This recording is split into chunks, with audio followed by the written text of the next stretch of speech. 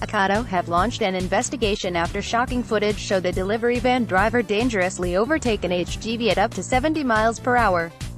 The vehicle narrowly avoids a head-on smash as it squeezes past the lorry on a road in Cambridgeshire. The lorry dash cam indicates the HGV was doing about 54 miles per hour on the 60 miles per hour road as the Ocado van raced past. The distance the van then puts between itself and the lorry suggests it could be traveling between 65 to 70 miles per hour. Driver Barry Harwood caught the incident on the April 7 on the A141 Heath Road, near Warboys, at 6.20 a.m. An oncoming Jeep can be seen in the right lane fast approaching and the driver flashes the Ocado driver as the two vehicles quickly approach each other nose to nose.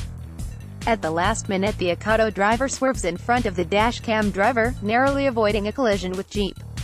The Jeep is obviously worried about the distance between the two vehicles. The clip shows that the driver is still inside the right lane split seconds before the Jeep safely passes the dashcam driver. The company van drives on fairing a customer review which reads, Best service I've ever had and I've shopped online for years. Recommending you to everyone. The driver is still bordering the lane split seconds before the Jeep passes. A spokesman for road safety campaign site SWD Media, who obtained the footage, said, We have seen some dangerous and stupid maneuvers before but this is up there for sure. To not only overtake directly into the path of oncoming vehicles is borderline suicidal. It's reassuring that Ocado are going to investigate this however it might take more than just training. Delivery drivers work to tight schedules and it is up to employers to relieve the pressure that can cause drivers to make incorrect and dangerous decisions behind the wheel.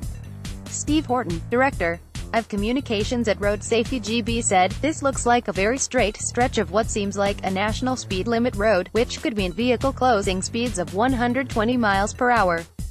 Not only do things happen very quickly at those speeds but it makes it hard for any driver to assess the situation and react appropriately.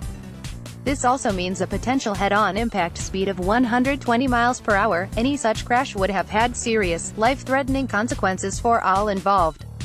The fact that the company are investigating is a good thing as they will ultimately have a high level of influence on how their drivers act on our roads. An Ocado spokeswoman said, Road safety is a top priority of ours so we do take issues like this seriously. We recruit drivers with high driving standards and then take time to train them extensively on road safety and awareness. We are investigating this with our management team to ensure this is dealt with according